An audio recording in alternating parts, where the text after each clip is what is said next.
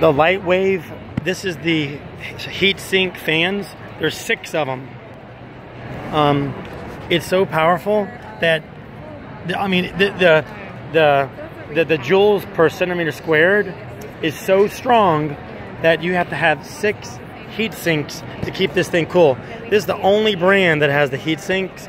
Um, but like I said, the other ones, you know, the other machines that have lower wattage, I mean the the lower, um, you know, just like I don't want to mention brands, but the other ones that are not as powerful, that don't have this many milliwatts per centimeter squared, don't need them. So there's no need. But on the Lightwave, definitely needs these.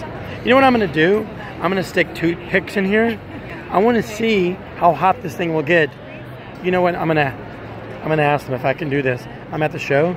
I'm gonna see, just on one of them, and I'll pay for it if it breaks. I'm gonna stick a toothpick in one of these, or one side. I'm gonna see how hot this thing gets, or if it's really for show.